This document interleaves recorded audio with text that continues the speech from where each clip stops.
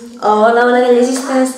La setmana del llibre en català ja s'ha acabat, però a mi m'emporto un bon grapat de bons records i una pila de llibres. Preparats pel Book Home? Comencem!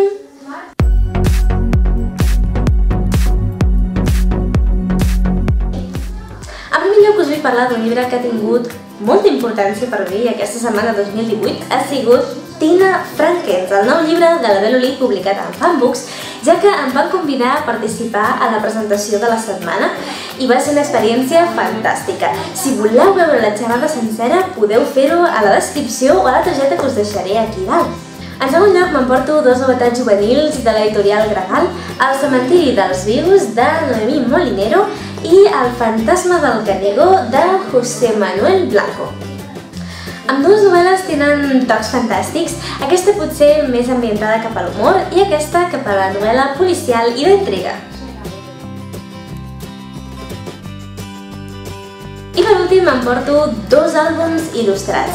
El primer és d'edicions Calígraf i és una nova adaptació de La Sireneta de Hans Christian Andersen adaptada i il·lustrada per Dani Torrent amb el nom de La Petita Sirena.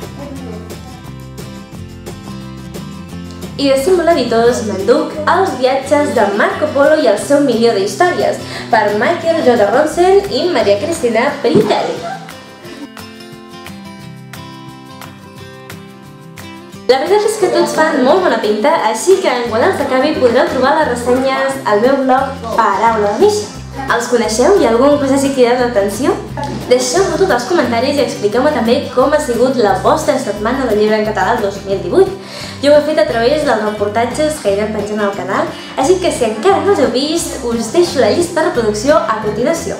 I poca cosa més, no us oblideu de donar-li like, subscriure-us i donar-li a la campaneta. Fins a la propera, gallegistes! Adéu!